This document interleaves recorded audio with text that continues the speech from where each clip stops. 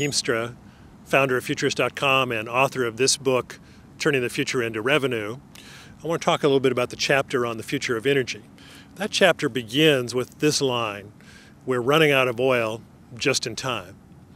But what does that really mean? Well, it means that we have to figure out how to replace this fossil fuel age that we've been living in, and in fact, our whole civilization is built upon. And we have to do it pretty fast within the next few decades. The good news is that alternative energy is not alternative anymore in two senses. We don't have any alternative except to use it, and it's available to us right now. You might not know that the leading solar nation in the world is Germany, which has more installed solar power than anywhere else in the world.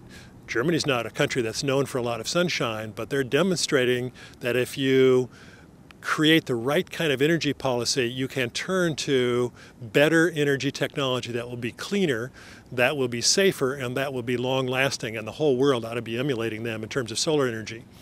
The other areas of alternative energy, including wind and uh, ocean energy and so on, are largely untapped.